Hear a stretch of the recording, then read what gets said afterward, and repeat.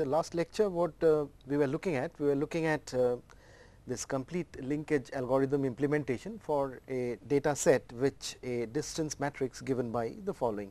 So, previously previous to this uh, complete linkage uh, clustering algorithm we had looked at uh, the single linkage clustering algorithm and we had uh, starting from a distance matrix we had constructed this single using the single linkage clustering algorithm the dendrogram clustering tree and its interpretations were discussed.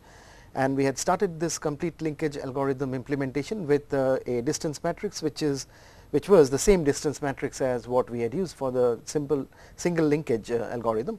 We had come up to this uh, step number 2 wherein at the first step we had seen that uh, the cases 3 and 5 were merged at a fusion level of 2 and then we were required to do the updation of the distance matrix which we had done in the last lecture and had come up with this modified or rather the updated distance matrix.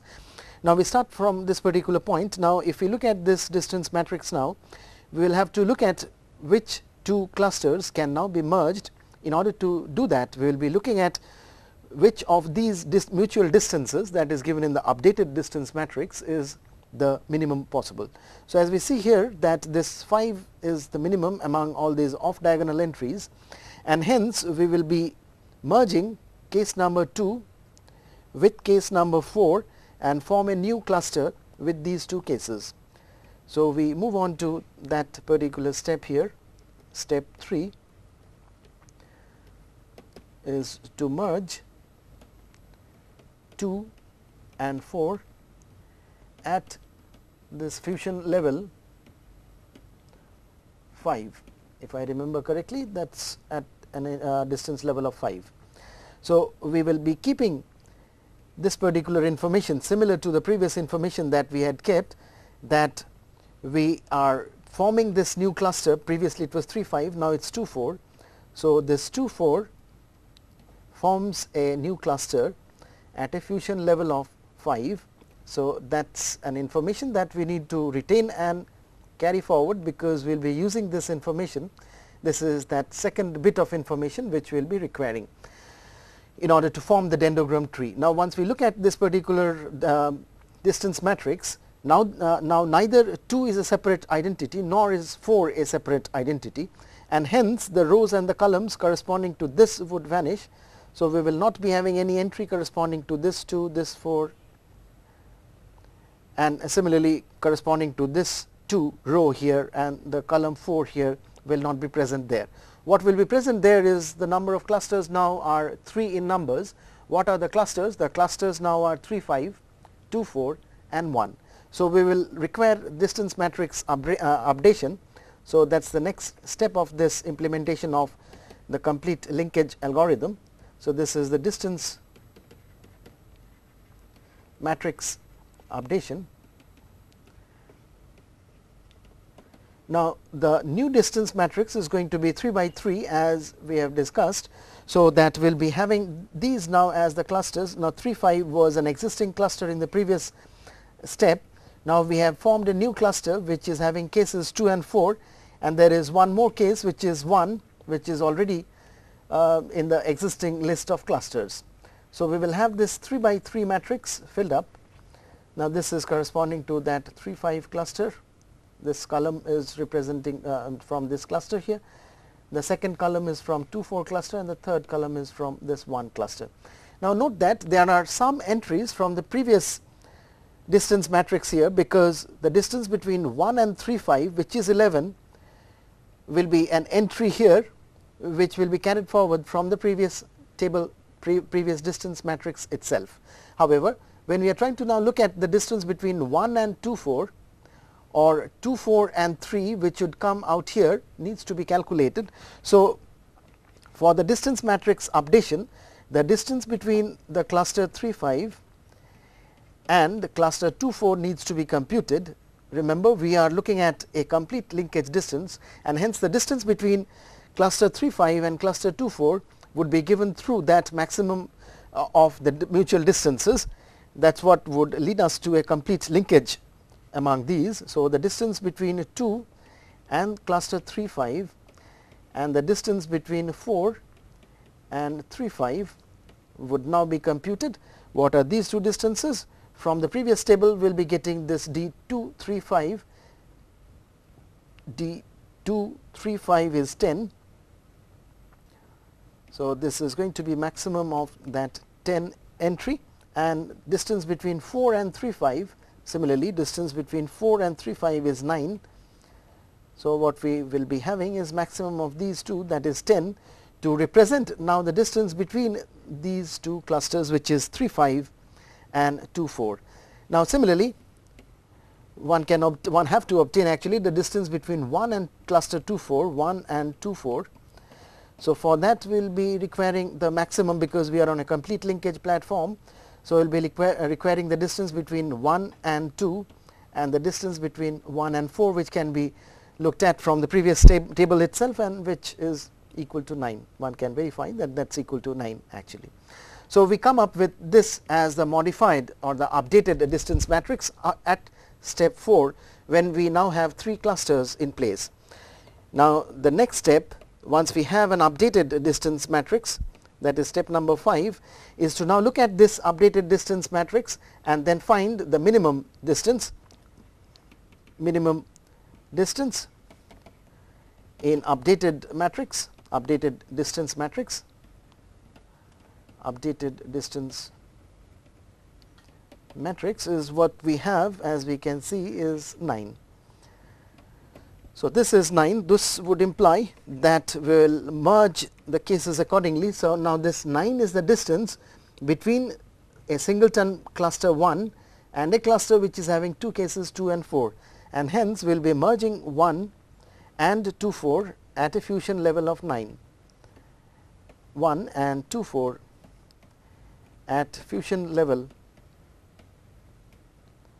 9 and we would require actually this information to be preserved because we 1 with 2 4 is now merged 1 and 2 4 are merged 1 and 2 4 are merged at a fusion level of 9 and that is the information which we need to keep track of.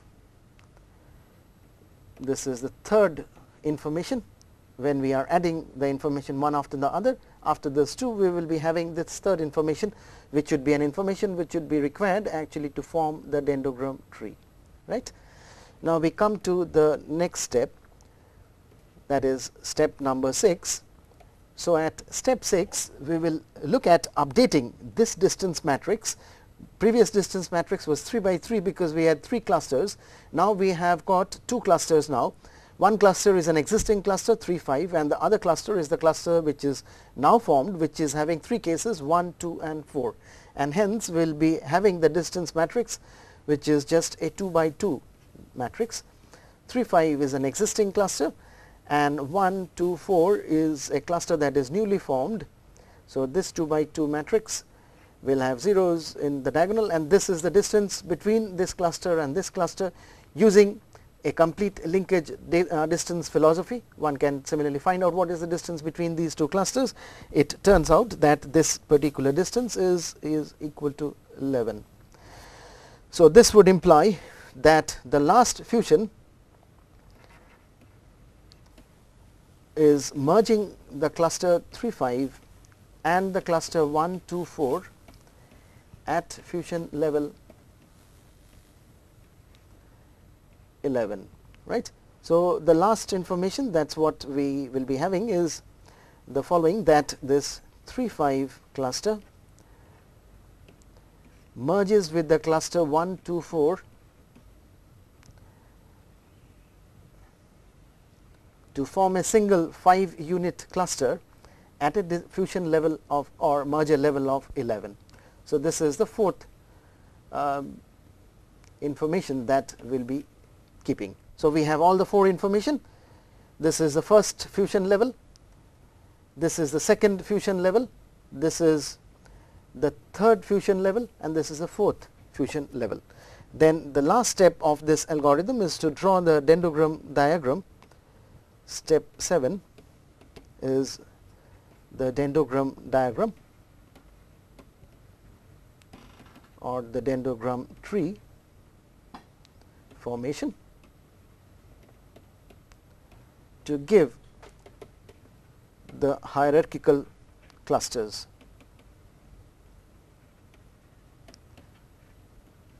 to give these hierarchical clusters. Let us do that on the next slide here.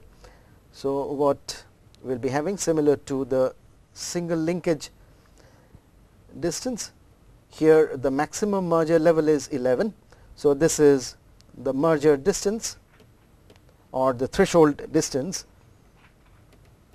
that is on the y axis and we will have this 1, 2, 3, 4, 5 say this is fusion level 5, 6, 7, 8, 9, 10, 11. So, this is the 10 level here. Now, what are the information that we will be putting here? First, we will put in the information that 3 and 5 have fused at level 2. 3 and 5. So, there are cases which is 3 here, this is 5 here, they have merged at a fusion level of just equal to 2. So, they are the nearest among all the pairs of objects. So, that is the first information. So, this we have taken care of this one. We will next look at the second information then 2 and 4 have merged at a level 5. Let us see. So, it is 2 and 4 have been merged at a level 5. So, this is that level 2 merger, this is that level 5 merged, case number 2 and case number 4 are merged to form a new cluster. right? So, we have taken care of this one. Now, what we are next going to have is input number 3, 1, 2 and 4 merged at level number 9. So, the case 1 comes in here. So, the single stick here which is coming up to this level of 9 that is the merger level 9 and then this two cases 2 and 4 and 1 now come together to form a new cluster. That is what this input had given us. So, we have taken care of this two. So, the last thing that we need to do is that all the cases now merge at level number 5, uh, 4. So, we have this one cluster which is having these three cases 1, 2 and 4. We have another cluster 3 and 5 and then they come together these two clusters come together at a fusion level distance of 11 and that is the dendrogram tree. So, we will have this as the dendrogram tree wherein the clusters are in a hierarchical form and they, with this we have formed from that distance matrix D by implementation of a complete linkage algorithm. Now, an important uh, point to be noted in uh, these type of hierarchical cluster analysis is that where to uh, how to decide on the viewpoint of uh, looking at the clusters being formed. So, when we are looking at deciding the viewpoint in dendrogram tree,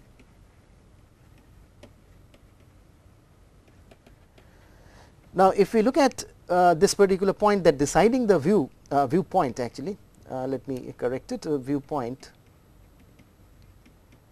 or the reference point actually from which we are looking at whether to look at the dendrogram because if we look at at this level 11 we have all the uh, 5 cases in one cluster. If we look at at this 9 level here we will have then two clusters one having 2 uh, 3 5 and the other having 1 2 4. So, which distance is desirable uh, there are various ways actually at, uh, of looking at this uh, deciding upon the viewpoint. A simple approach is to look at the following diagram which looks at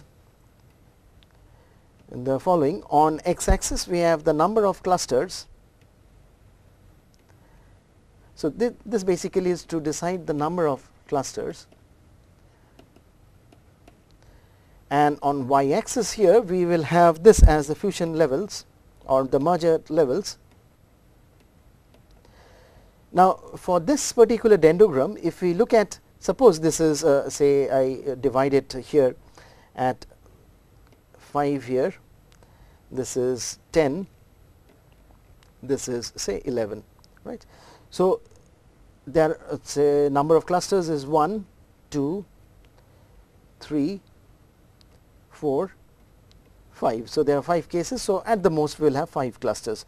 Now, if we look at fusion level number 11 fusion level of 11 out here, then we will have one cluster here. Now, if we look at a fusion level of 9, so this is say fusion level 9, if we look at fusion level 9, we will have two clusters. So, we have the second point here 9. If we look at a fusion level of 5 which is this one, we will have 3 clusters in the data. If we look at a fusion level which is 2 here, so if this is 5 then uh, let us say this is 4, 3, 2, 1 say. So, the fusion level of 2 we will have this as 4 clusters and then this graph is up to this particular point because number of clusters 5 that would be at the 0 level of fusion. So, we have a graph like this and it is basically from such a graph look for the flattening actually of the graph. The point at which the graph flattens the point at which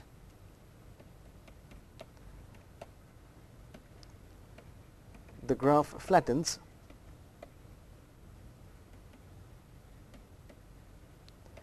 is the desired viewpoint.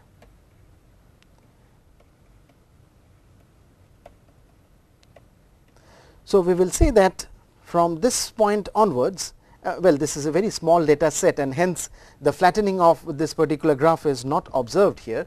If we have huge number of cases then what it will turn out is that we will have such a graph with many number of clusters and we will find that if we have for example a graph of this following nature that it is of this nature then this is the point which we associate with the flattening point.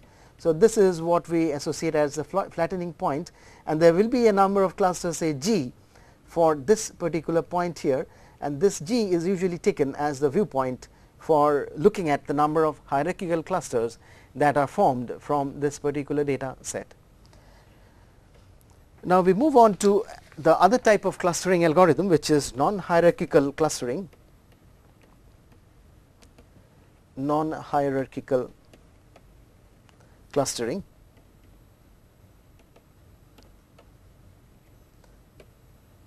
we will discuss one important non-hierarchical clustering method which is uh, called the k-means clustering or the method of iterative relocation method. So, what are the features of such a non-hierarchical clustering method? So, the features the salient features would be that um, the clusters are not clusters formed do not have any hierarchy do not have any clusters. Correct this one. Clusters formed do not have any hierarchy.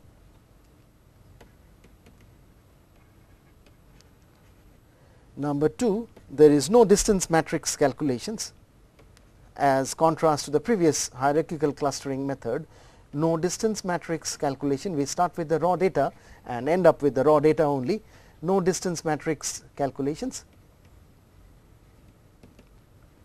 Now, it is said that it is better suited for a higher or a large data set, better suited for large data sets. Why is that so? Because if we look at the output of an hierarchical clustering, if we have a huge data set actually, then the number of cases may run into hundreds and thousands and in such a situation we will have all such mergers the cases this x axis will be so crowded with all those cases for a high dimension uh, for a uh, large data set then it would be very difficult actually to make out which clusters are formed at which particular level and hence the output will be so cumbersome for a hierarchical cluster analysis uh, output. It is better suited if we have a non-hierarchical clustering and we do not talk about any hierarchy in the formation of the clusters. Now, how uh, what is uh, the type of algorithm or uh, what is the type of behavior of such non-hierarchical clustering method? Non-hierarchical clustering method starts either clustering methods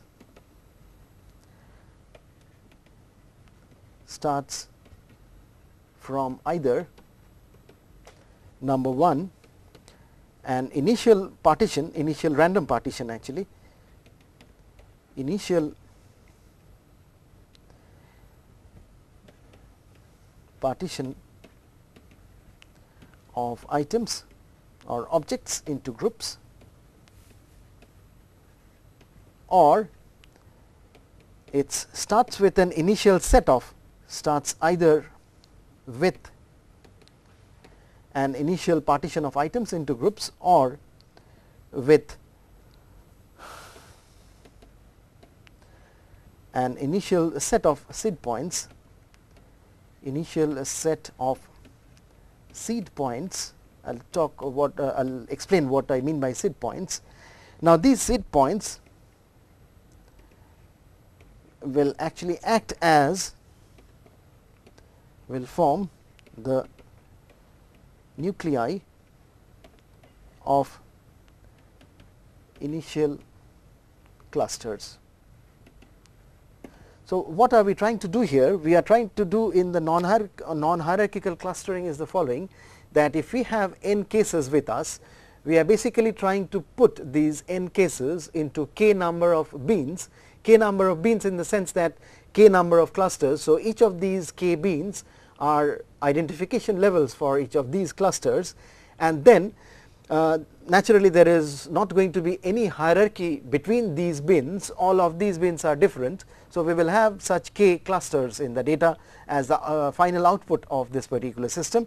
So, they do not have any hierarchical structure in the formation of the clusters, there will be no distance matrix calculation as we will see and this is better suited we have already discussed and this non hierarchical clustering method how do they start? Well, when we have a hierarchical clustering method we start with what? we start with a distance matrix. When we have a non-hierarchical clustering method, it starts basically with either an initial partition of items into groups. So, if we say that we are there are k clusters in uh, the data, we will start with an initial randomly chosen k clusters which are basically the partition of the data set either with that or we start with k seed points, k multidimensional points randomly chosen uh, it may be chosen from among the existing data or maybe just k dimension uh, p dimensional uh, k such seed points which now act as the centroid or the nuclei of the initial clusters. So, these are the two ways in which uh, a non-hierarchical clustering method actually starts. Uh, I will just put it as a note that when I have said that I we start either with this or with this second initial set of seed points, how one can actually do that one way to start is to randomly select seed points from among the data itself from among the items because each of these items are the p dimensional uh, p dimensional in nature. And when we talk about seed points which are going to form as the nuclei of the initial clusters which are going to change uh, iteratively uh, those points also needs to be of the same dimension as that of the data. And thus choosing initial set of seed points say k in number would be to look at randomly choosing k points from among the n possible items. Now, this is one way which would take care of this particular approach or what we can do is to randomly partition the data to randomly partition the data. So, it is random partition of the data that is items or objects into initial groups.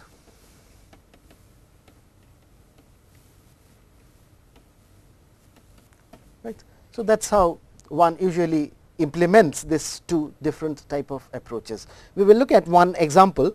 Uh, in the example what we will do is we will approach the first, uh, uh, we will adopt the first approach that uh, we will have initial partition of items into groups and then we will see how this uh, method of k-means clustering is going to evolve. Now, as I said that the k-means clustering, k-means method or the method of iterative relocation or the method of iterative relocation is an important clustering approach which actually leads us to non-hierarchical clusters that can be formed from the data. Now, a k-means method I will just explain what how this particular method actually goes about. K-means method is an algorithm k-means method is an algorithm that assigns each object that assigns each object to the cluster having the nearest nuclei or centroid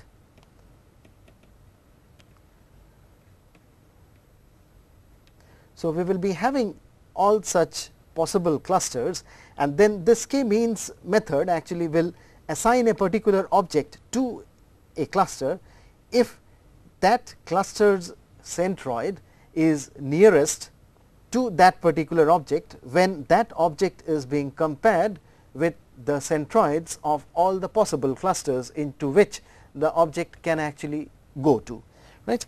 Now, what is the algorithm for this k means method? The algorithm goes in the following steps. So, the first step is to partition the data, partition the items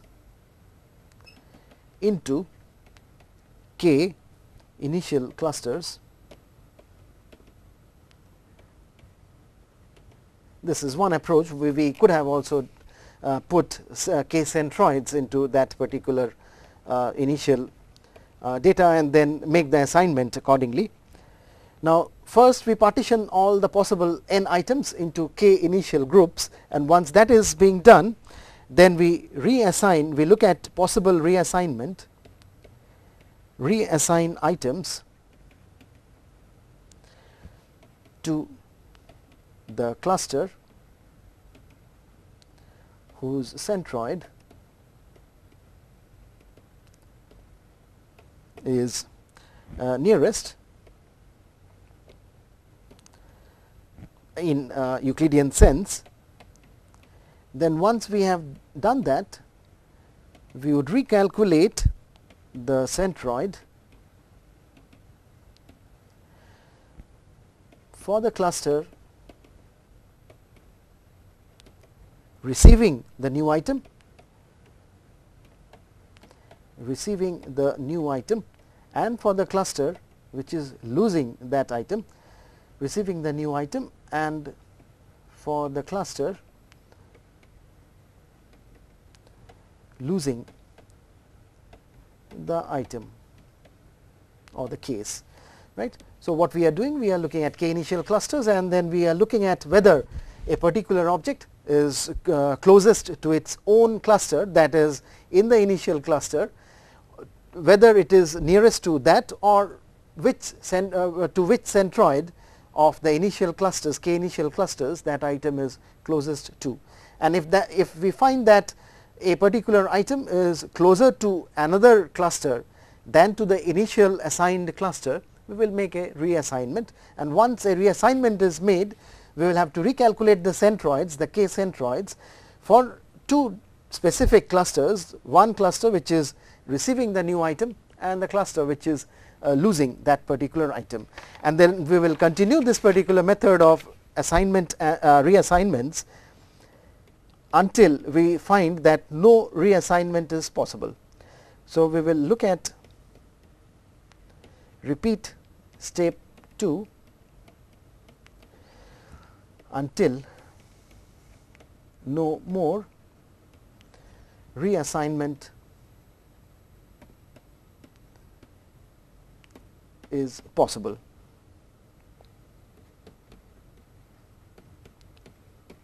Right.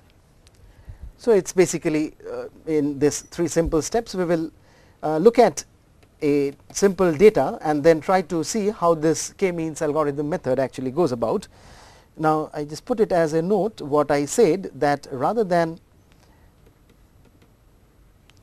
starting the process of this k-means algorithm with a partition a random partition of the data random partition of all items into k initial groups that is what we have written in the algorithm as in step 1 of the algorithm. We can also assign seed points. We can specify k initial centroids straight away which are going to act as the seed points and then proceed to step 2 of the previous algorithm. Step, step 2 after a walk through the data through the data right.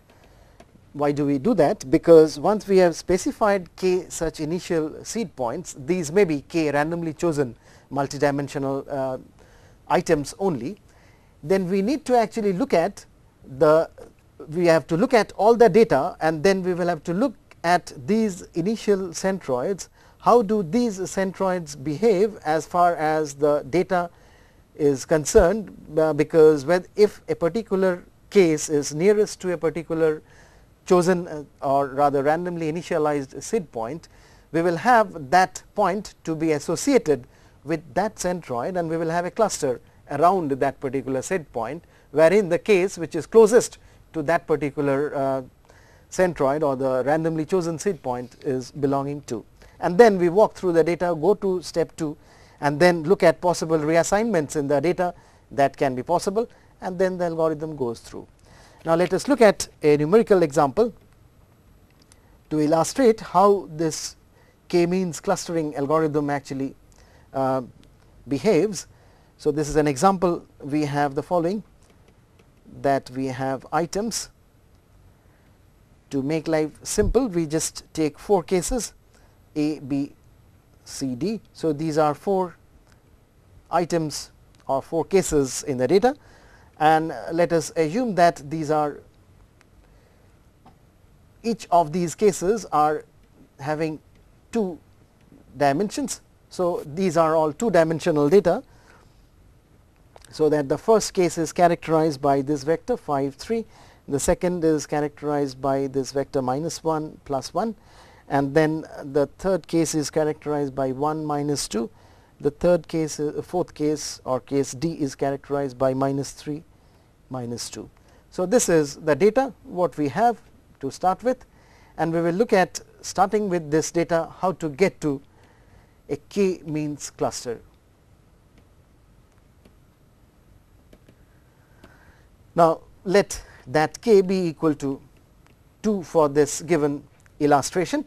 So, we are trying to divide these 4 cases into 2 clusters using a k means clustering approach which is going to lead us to uh, clusters which are non hierarchical in nature.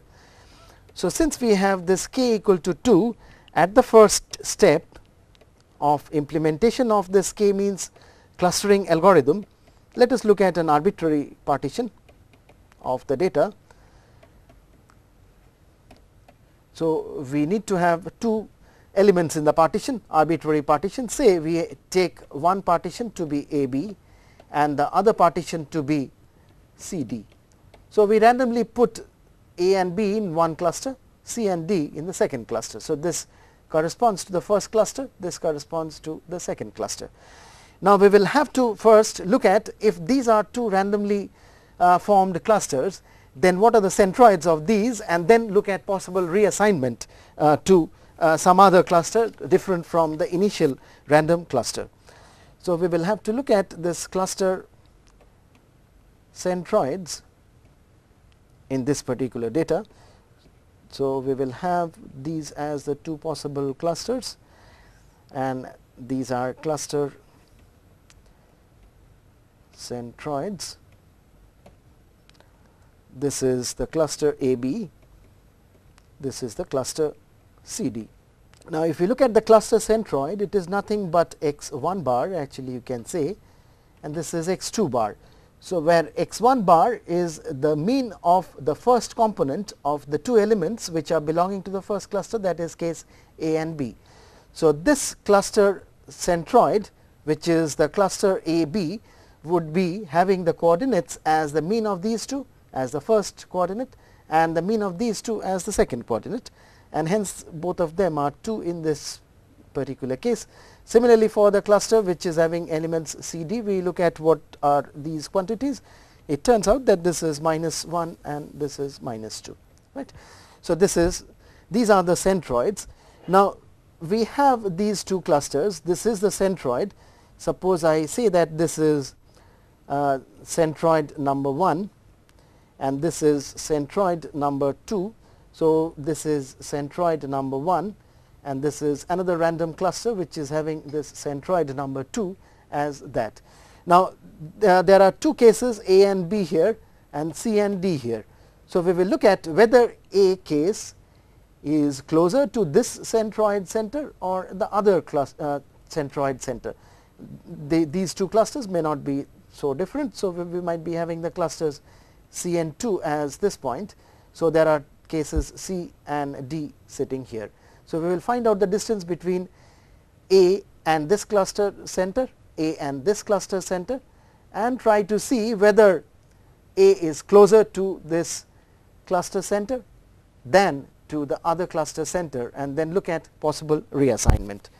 So, that goes into the second step of this algorithm. So, in the step 2 we will look at that assignment. So, in the second step we compute the distances as I said that compute distances from cluster centers from cluster centroids and reassign items if possible uh, or if required to the nearest group. Now, that is possibly going to happen because we had just the initial set of clusters to the nearest group.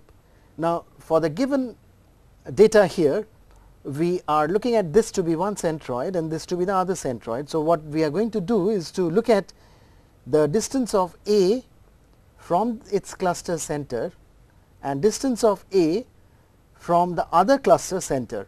Now, if we find that the distance of A from its own cluster center initial randomly chosen cluster center is higher than the distance of A from the other cluster center, we will reassign A to this cluster. And once we do that, we will stop at that particular point and then recalculate the centroids of the clusters because this cluster is now losing A and the other cluster is going to gain A if that is possible.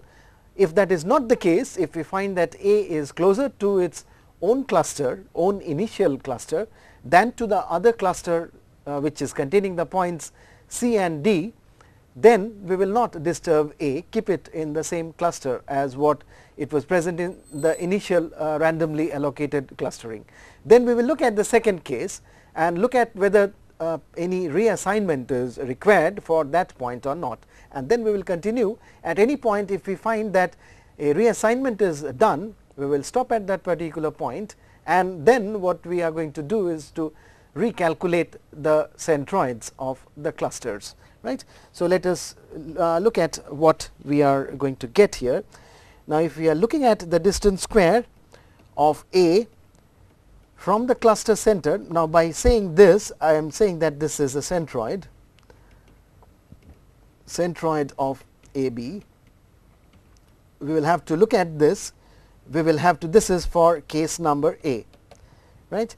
So, we will look at the distance of A from its own cluster, distance of A from the cluster center or the centroid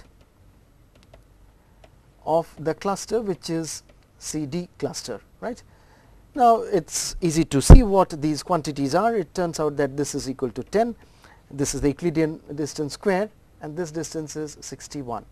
So, A is closer to its own initial cluster than to the other cluster. So, this would imply no reassignment of A is required right. Now, once that is done we move on to case number B and we will calculate the similar thing we will have to look at the distance square of B from its own centroid and we will also have to look at this distance square of B from the other cluster centroid C and D as it turns out that this is equal to 10 and this is equal to 9. So, B is the distance of B from its own cluster center is higher than the distance of B from the other cluster which is C and D. So, this would imply that B the point which was initially sitting in the cluster AB is closer to the other cluster than to its own cluster and, and hence reassignment of B is required. So, we will need to do this because we see that B is closer to the cluster CD than to the cluster AB. This would further imply that reassign B to CD. Now, the setup gets changed as B is reassigned to CD. So, the new clusters are there is one cluster with singleton case A and there is another cluster with these three cases B, C and D right. So, since we have this as the two new clusters we will require updation of what centroids updation of cluster centroids because the previous centroids were that for the randomly allocated terms there. So, this is basically going to be the step 3 because we had at step 2 that reassign uh, I am sorry this is going to be step 3 this is going to be step 3 of this implementation updation of the cluster centroids. Now, what are the clusters now in the data as we had said that these are the clusters. This is cluster number A and the second cluster is having these three cases and these are centroids. It is similarly that x 1 bar corresponding to the cases under this, x 1 bar corresponding to the cases under uh, the second cluster and this is going to be that point itself because it is a singleton cluster. So, this point is the uh, cluster centroid which is the ordinates of A and for this BCD cluster one can calculate that this is now the new cluster mean centroid point of this cluster. Now, once we have that we will have to look at possible reassignments possible reassignments meaning thereby we will have to see whether A the distance of A from itself is always 0. So, A cannot be reassigned here. We will look at what is the distance of B from this center and what is the distance of B from this center. We will look at the distance of C from this point here and this point here and look at possible reassignment. Now, we will have this particular table the squared distance to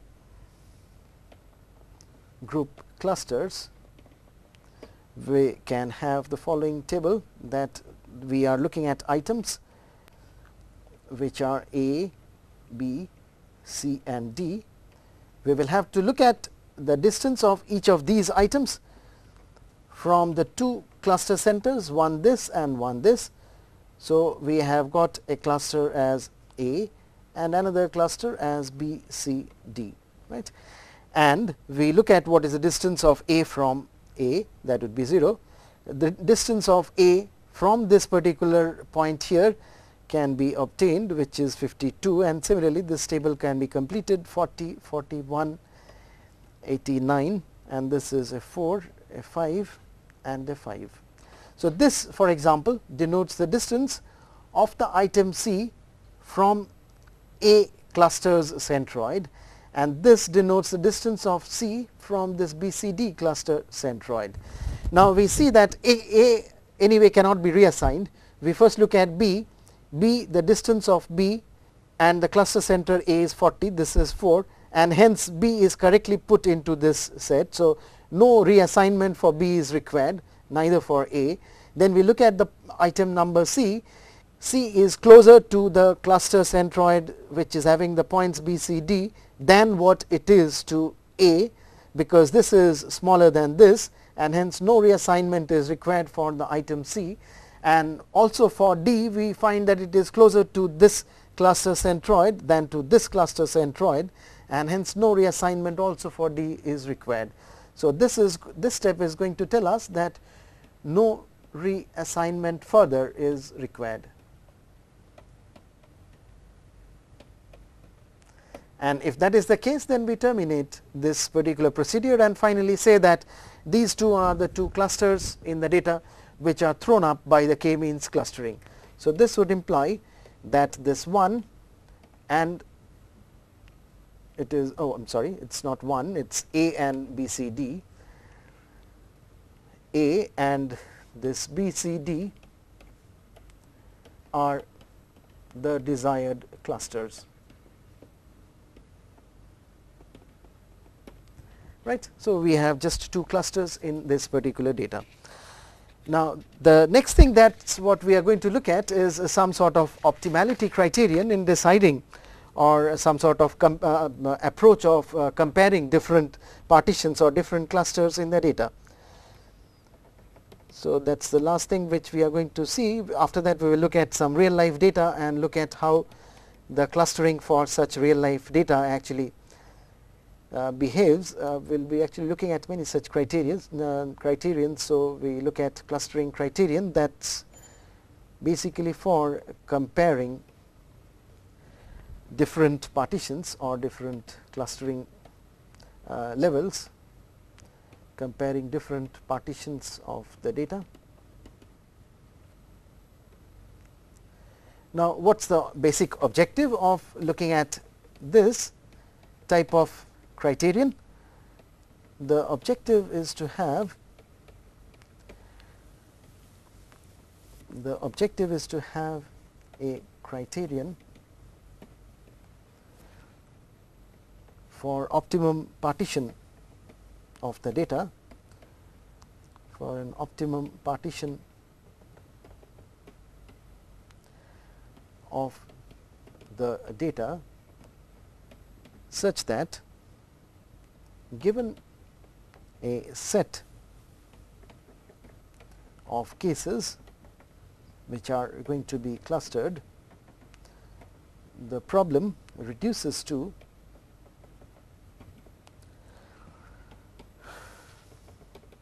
partition the data into G clusters now, G is a number which has to be derived clusters so that the clustering criterion is optimized. So, that the clustering criterion is optimized because as we have seen uh, say in the hierarchical clustering approach or in the non hierarchical clustering approach we can have different clusters different partitions uh, of the data. Say if we are looking at a hierarchical clustering algorithm if we look at two different fusion levels or the threshold distances then we have completely different uh, clusters uh, in uh, that particular level. And hence there has to be some way of comparing such clusters whether we should look at a particular say 2 clusters in the data or whether to look at 3 clusters in the data, what is going to give us some sort of optimality with respect to some criterion that we are going to propose shortly. Right. So, that is what is the basic objective of this particular uh, analysis. Now, let there be n data points, let the n data points. Now, these are cases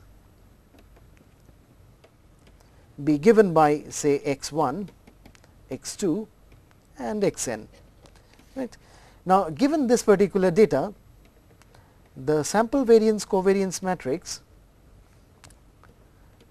the sample variance covariance matrix is given by this we have seen time and again say sigma hat which is say with a divisor n uh, so that it is corresponding to the maximum likelihood estimator. So, that is i equal to 1 to up to n x i minus say m where n, uh, m is the sample mean x i minus m transpose where this m vector is 1 upon n summation i equal to 1 to n x i. So, this basically is the sample mean right. Now, let us define the number of clusters. Let there be g clusters. We are trying to compare or rather have a platform for comp uh, comparing uh, such possible uh, clusters. Let there be g clusters and define this following indicator function. Z j i to be equal to 1 and 0 1 if the case x i belongs to cluster j and is equal to 0 if it is otherwise. So, if z j i is given by this we can write the following quantities we can write that our m vector as following. So, this m vector uh, say I have that say m j vector this is going to be a cluster mean for that jth cluster which is going to be 1 upon n j. N j is the number of points in that particular cluster and this is summation i equal to 1 to up to n the entire data z j i that into x i wherein we have n j to be equal to summation z j i these indicator variables for i equal to 1 to up to n right. So, this is the mean of cluster J and what is this? This is the number of items in cluster J. This is simple to see that because if you look at Zji, Zji is equal to 1 if xi belongs to the jth cluster and if we have nj items among this small n to belong to cluster number j, exactly n j of them among these z j i's for a particular j would be equal to 1 and hence the sum would be equal to n j only cluster or not. So, these two are the two simple quantities. Then we can define the two following quantities the within cluster sum of squares and cross product matrix sum of squares and cross product matrix is going to be given by say S w which is equal to 1 upon n we will still use that indicator function this j is equal to 1 to up to g. So, these are the number of clusters and i is equal to 1 to up to n then we have this as z j i the indicator this is x i minus m j this is the cluster center for the jth cluster x i minus m j transpose right. So, this is also called the pooled within cluster pooled within cluster scatter matrix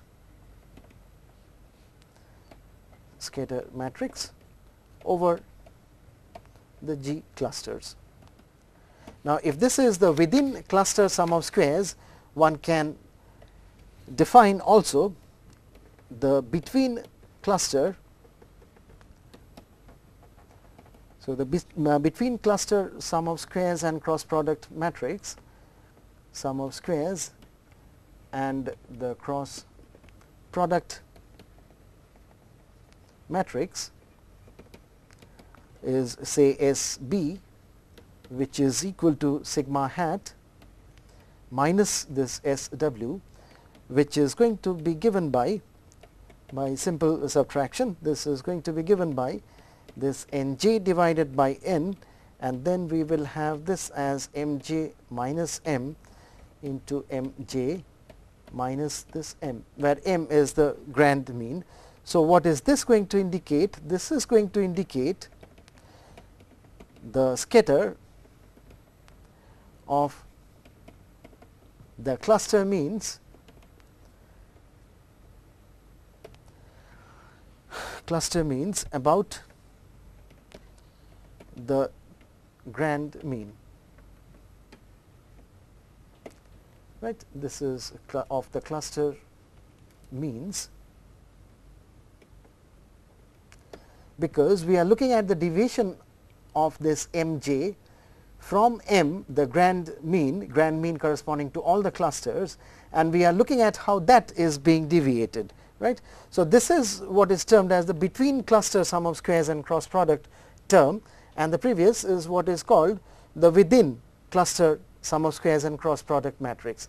Now, the optimality criterions for clustering are basically based on these two measures uh, S w, S b and sigma hat which we see, will see in the next lecture. Thank you.